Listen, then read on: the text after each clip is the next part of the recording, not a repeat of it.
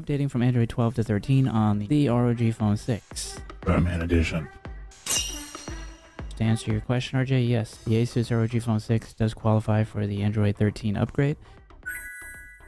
The first thing you want to do is make sure that you're connected to your internet, your Wi-Fi preferably, or your mobile data. If you don't want to use your mobile data, you can make sure that you're on Wi-Fi and select Update over Wi-Fi only.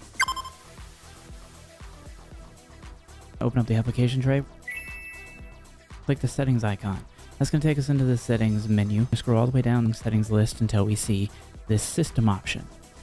And in this case, you can see we have a red notification balloon. That's ASUS letting us know, hey, you can upgrade your phone from Android 12 to Android 13. If that balloon didn't exist, you can manually check for an update by clicking the System menu option, and then scrolling down and clicking the System Update submenu option. That's going to take you to the System Update page, and that's going to tell you which version of ASUS firmware is currently installed, and it's going to tell you the last time it was checked for an update.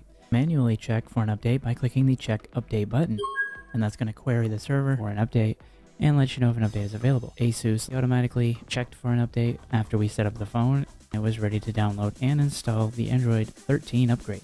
That's all there is to it, and it pretty much is ready to install right out of the box.